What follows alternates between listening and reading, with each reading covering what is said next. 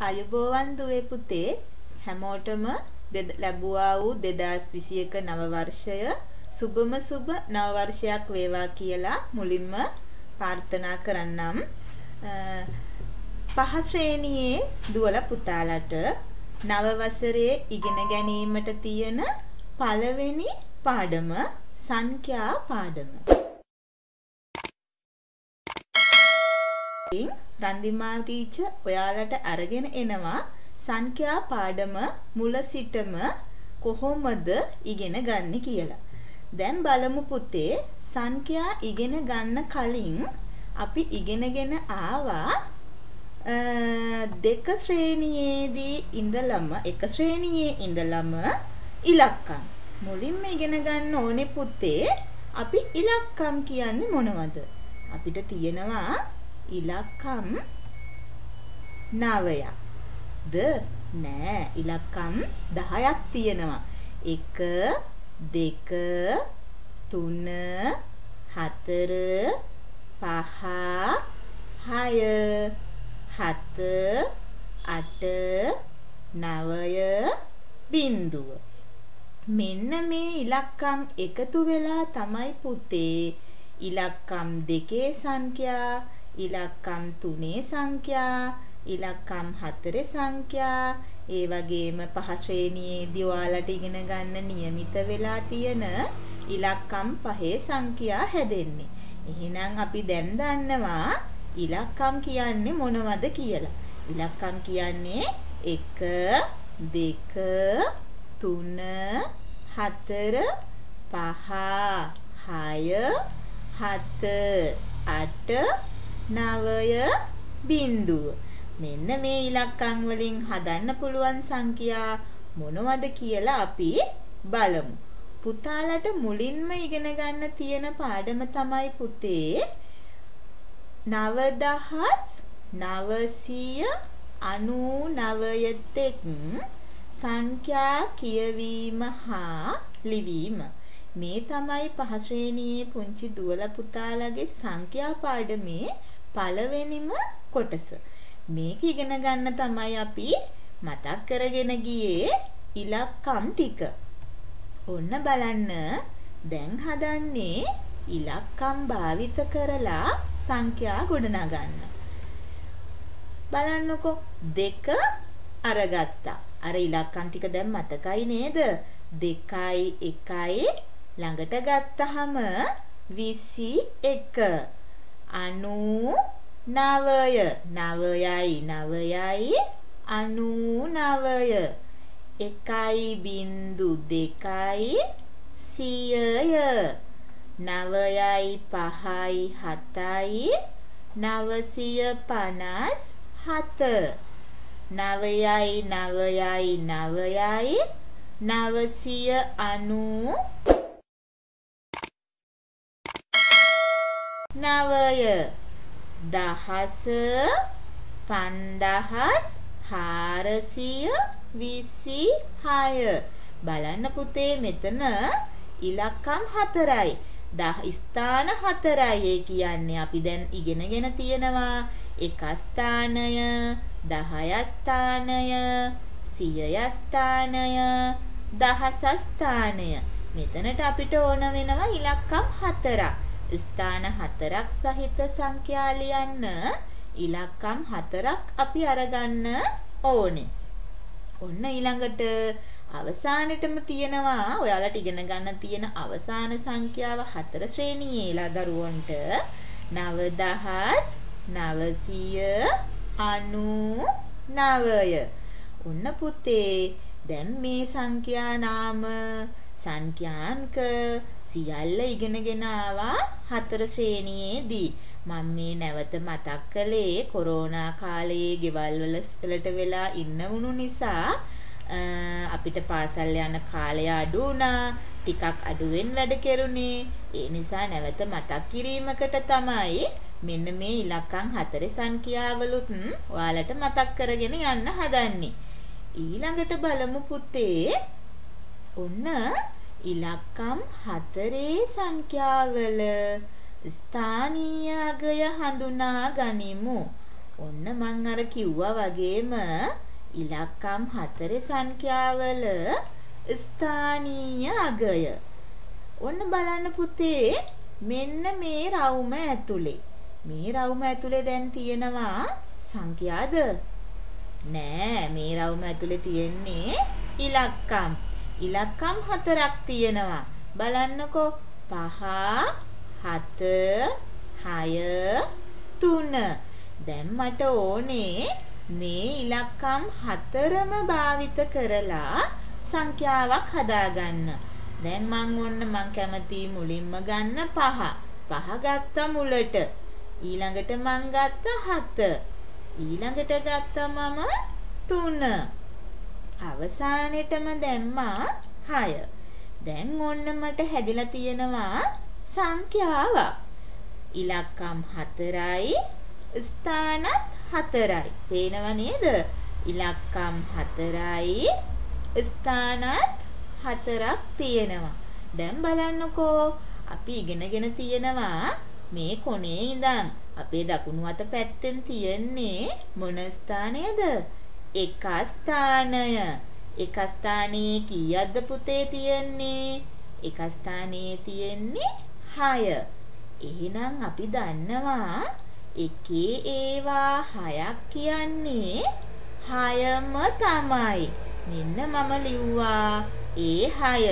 එක ස්ථානයේ හයක් තියෙනවා. ඔන්න ඒ හය. ඊළඟට එක ස්ථානයෙන් පස්සේ තියෙන්නේ දහය ස්ථානය. දහය ස්ථානයේ තුනයි. ඒ කියන්නේ දහයේ ඒවා තුනක්. දහයේ ඒවා තුනක් කියන්නේ කීයද? දහය ස්ථානයේ තුනක් කියන්නේ දහයේව තුනක්. දහයේව තුනක් කියන්නේ ඔන්න 30. දහයේව තුනක් 30යි. බලන්න පුතේ ටීචර් ලියනකොට ලියලා තියෙන්නේ ස්ථානීය අගය පිළිබඳ හොඳට බලලා. එක ස්ථානය කෙලින් එක ස්ථානය. ඔන්න ඊළඟට 10 ස්ථානය. අපි යමුකෝ ඊළඟ ස්ථානය බලන්න. ඊළඟට මොන ස්ථානයද තියෙන්නේ? එක ස්ථානය දහය ස්ථානය සියය ස්ථානය. මෙන්න සියය ස්ථානය ආවා. සියය ස්ථානයේ හතක් කියන්නේ කීයද? හත්සියයක් ඔන්න ඒකත් ලියලා තියෙන්නේ නිවැරදිව ස්ථානගත කරලා. ඔන්න අවසාන ස්ථානය. තවත් ඉදිරියට අපිට මෙතන නැහැ ස්ථානයක් ඔන්න තියෙනවා පහක්. මොකද්ද මේ ස්ථානය? එක ස්ථානය, දහය ස්ථානය, සියය ස්ථානය, ඔන්න දහස ස්ථානය. කීයද? දහස ස්ථානය. දහසේවා පහ. දහස ස්ථානයේ පහක් තියෙනවා කියන්නේ පන්දහසයි. ඔන්න පන්දහස ලියලා තියෙනවා. දැන් බලන්න පුතේ මෙන්න මේ 5736 කියන සංඛ්‍යාව 5736 කියන සංඛ්‍යාව හැදුනේ දහසේ ඒවා පහයි. ඒ කියන්නේ 5000යි. සියයේ ඒවා හතයි. ඒ කියන්නේ 700යි. දහයේ ඒවා තුනයි. ඒ කියන්නේ තිහයි. එකේ ඒවා හයයි. ඒ කියන්නේ හයමයි. පන්දහසයි හත්සියයයි තිහයි හයයි එකතු වෙලා තමයි මේ පන්දහස් හත්සිය තිස්හය කියන සංඛ්‍යාව අපිට හොයාගන්න පුළුවන් උනේ. අපි බලමු තවත් ගණනක්. ඔන්න බලන්න. දැන් මම රවුමක් ඇතුළට ඉලක්කම් ගත්තේ නැහැ. දැන් මං වෙනත් ඉලක්කම් හතරක් අරගෙන සංඛ්‍යාවක් හදලා තියෙනවා. බලන්නකො සංඛ්‍යාව 9045. දැන් බලන්න පුතේ එක ස්ථානයේ පහක් තියෙනවා. 10 ස්ථානයේ හතරක් කියන්නේ 40යි. ඔන්න බලන්න සියය ස්ථානයේ බිඳුවයි. සියයේ ඒවා බිඳුවක් කියන්නේ කීයක්ද? බිඳුවම තමයි. බිඳුව කියන්නේ අගයක් නැහැනේ. සියයේ ඒවා කොච්චරක් තිබුණත් බිඳුවක් සියයේ ඒවක් බිඳුවක් සියයේ ඒවා බිඳුවක් කියලා කියන්නේ වෙනත් සංඛ්‍යාවක් එන්නේ නැහැ. අගය වෙන්නේ බිඳුවම තමයි. අපි පුතේ බිඳුව ලියනකොට බිඳු තුනම අවශ්‍ය නැහැ. එක බිඳුවක් ලිව්වහම ඇති. හැබැයි බිඳුව ලියන්න ඕනේ එක ස්ථානය කෙලින්. තේරුණා නේද? මෙතන 10 ස්ථානයේත් බිඳුවක් තියෙනවා. 100 ස්ථානයේත් බිඳුවක් තියෙනවා. අපිට ඒ දෙක ලියන්න ඕන වෙන්නේ නැහැ. මොකද මෙතන කොහොම කළත් බිඳුවම තමයි. බිඳු තුනක් තිබුණත් බිඳුවයි, එක බිඳුවක් තිබුණත් බිඳුවයි.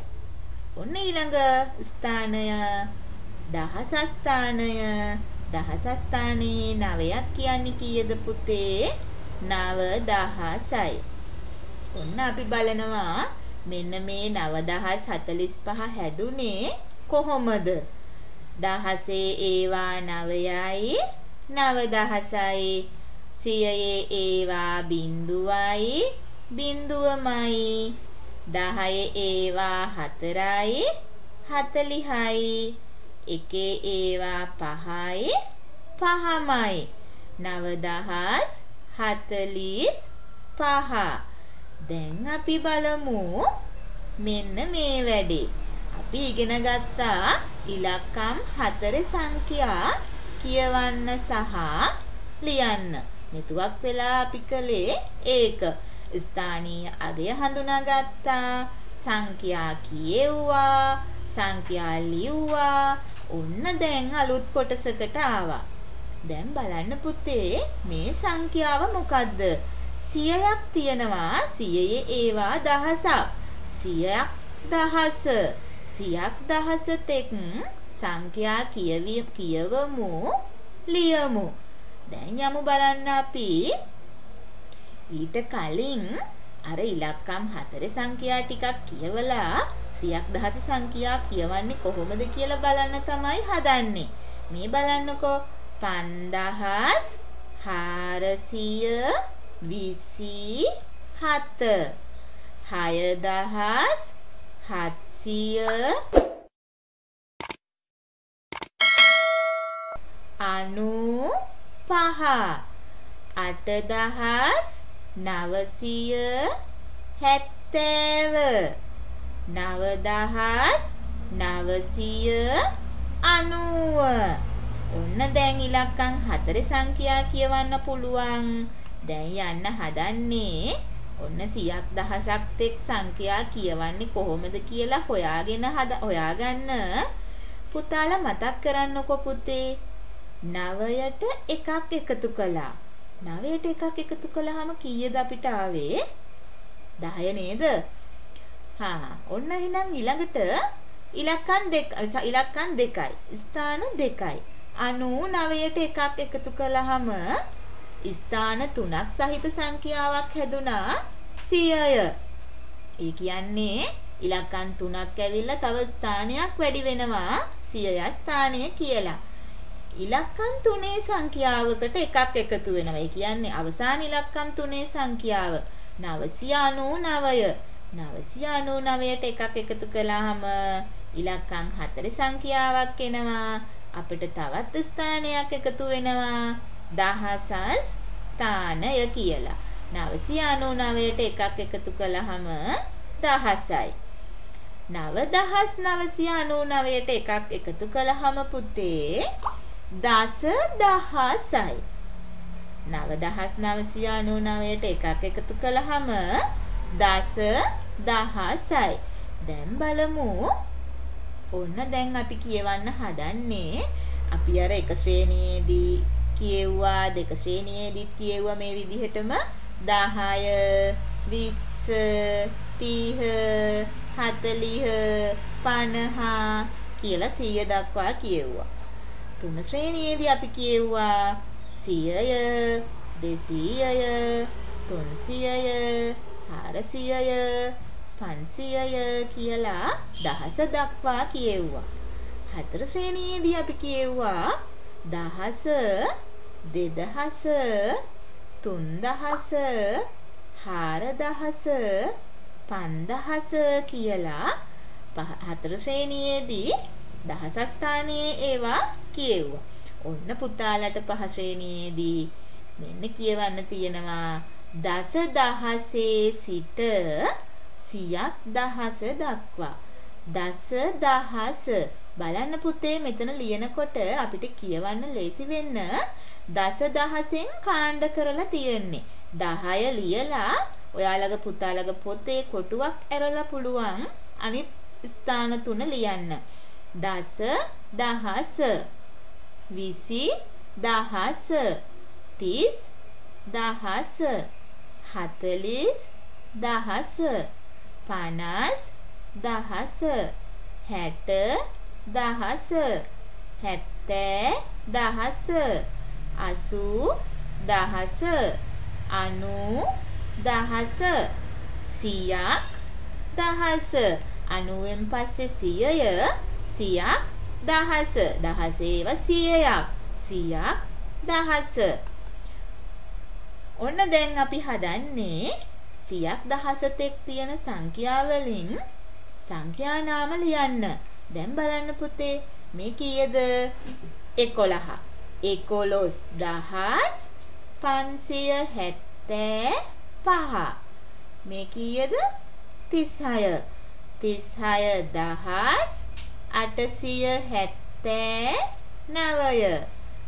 57000 920 අනූ නවදහස් පන්සිය හතලිස් පහ. දැන් මේ විදිහට පුතාලට ඕනෑම සංඛ්‍යාවක් සංඛ්‍යා නාමය යොදන්න පුළුවන්. ඕනෑම සංඛ්‍යා නාමයක් දුන්නොත් සංඛ්‍යාංකය ලියන්නත් පුළුවන්. ඒ කියන්නේ සංඛ්‍යාව ලියන්නත් පුළුවන්. දැන් බලන්න පුතේ අර ස්ථානීය අගයම තමයි මේකෙදිත් තියෙන්නේ මේ බලන්න සංඛ්‍යාව 26458 මේකේ එකේව කීයද පුතේ? 8යි 10 ඒවා 5යි 100 ඒවා 4යි දහසේ ඒවා 6යි දසදහසේ ඒවා 2යි මේකට කියනවා සංඛ්‍යා පෙතක් කියලා. මේ තියෙන්නේ සංඛ්‍යා පෙතක් තුල නිරූපණය කරලා ස්ථානීය අගය හොයාගත්ත ආකාරය. ඔන්න බලන්න ඊළඟට අපිට තියෙනවා අපි ඉලක්කම් හතර සංඛ්‍යා විහිදුවා ලෙව්වනේ. ඉලක්කම් හතර සංඛ්‍යා වගේම පහේ සංඛ්‍යාත් විහිදුවා ලියන්න. දැන් පුතේ දසදහසේ ඒවා දෙක. ඒ කියන්නේ කීයද? 20000ක්. හත් සියයේ ඒවා හතක්. ඒ කියන්නේ හත් දහසයි. සියයේ ඒවා අටක්. ඒ කියන්නේ අටසීයයි. දහයේ ඒවා හතරක්. ඒ කියන්නේ හතලිහයි. එකේ ඒවා නවයක්. ඒ කියන්නේ නවයයි. ඔන්න නැවත සැරයක් කියනවා දස දහසේ ඒවා දෙකක් විසි දහසයි දහසේ ඒවා හතක් හත් දහසයි සියයේ ඒවා අටක් අටසියයයි දහයේ ඒවා හතරක් හතලිහයි. එකේ ඒවා නවයක් නවයයි. මේ සංඛ්‍යාව හදන්න මෙන්න මේ විදිහට තමයි විහිදෙන්නේ. මේ සංඛ්‍යාව හැදිලා තියෙන්නේ මෙන්න මේ වගේ විහිදුණු සංඛ්‍යා එකතුවකින්. ඊළඟ සංඛ්‍යාවත් එහෙමමයි. දසදහසේ ඒවා පහක් කියන්නේ කීයද? 50 දහසයි. දහසේ ඒවා එකක් කියන්නේ දහසමයි. සියයේ ඒවා නවයක් කියන්නේ නවසියයයි. දහයේ ඒවා නවයක් කියන්නේ අනූවයි. එකේවා බිඳුවක් කියන්නේ බිඳුවමයි. ඔන්න සංඛ්‍යාව විහිදුවා ලියන්න දැන් අපි ඉගෙන ගත්තා. සංඛ්‍යා විහිදුවා ලියන්නේ මෙන්න මේ විදිහට. ඊළඟට පුතේ මෙන්න මේ සංඛ්‍යාවේ අපිට දෙනවා නිරූපිත අගය හොයන්න. දැන් බලන්නකෝ 68507. මම මේකේ තියෙන ඉලක්කම් ටික වෙන වෙනම ලියාගත්තා. 6 8 5 බිංදුව 7. 6 කියන ඉලක්කම තියෙන්නේ මොන ස්ථානයේද? දස දහසස් ස්ථානයේ. එන්න එතන දසදහසස් ස්ථානයේ අගය කීයද? ස්ථානීය අගය. එතකොට පුතේ අපි ලියන්නේ ඉලක්කමෙන් දස දහස. දැන් අහනවා මෙන්න මේ 6 දසදහස ස්ථානයේ තියෙන 6න් කීයක් නිරූපණය වෙනවද? කීයද? 60000යි. ඊළඟට දහස ස්ථානයේ 8. ස්ථානය තමයි දහස ස්ථානය. ස්ථානීය අගය 10යි. නිරූපණය වන අගය 8000යි. සියය ස්ථානයේ 5යි. ස්ථානය සියය ස්ථානය ස්ථානීය අගය 100ය නිරූපණය වෙනවා 500ක්. 10 ස්ථානයේ බිඳුවයි. ස්ථානය 10 ස්ථානයමයි. ස්ථානීය අගය ඉලක්කමෙන් ලියනවා 10 කියලා. නිරූපණය වෙනවද කීයක්වත් නැහැ බිඳුවයි තියෙන්නේ. ඒ නිසා අපි බිඳුව ලියා ගන්නවා. එක ස්ථානයේ 7යි ස්ථානය එක ස්ථානය ස්ථානීය අගය අපි ඉලක්කමෙන් ලියන්නේ එතකොට අපි ලියන්නේ 1 කියලා නිරූපණය වන අගය එකේව 7ක් 7යි දැන් බලමු පුතේ මෙන්න මේ කොටු කරලා තියෙන ඉලක්කමේ 87528 කියන සංඛ්‍යාවේ කොටු කරලා තියෙනවා එක ඉලක්කම. කොටු කරලා තියෙන්නේ කීයද? 2. අහනවා ඔයාලගෙන් ස්ථානය මොකද්ද? මේ දෙක පිහිටලා තියෙන ස්ථානය කීයද? 10 ස්ථානය. එහි ස්ථානීය අගය මෙතන ස්ථානීය අගය කීයද? 10යි.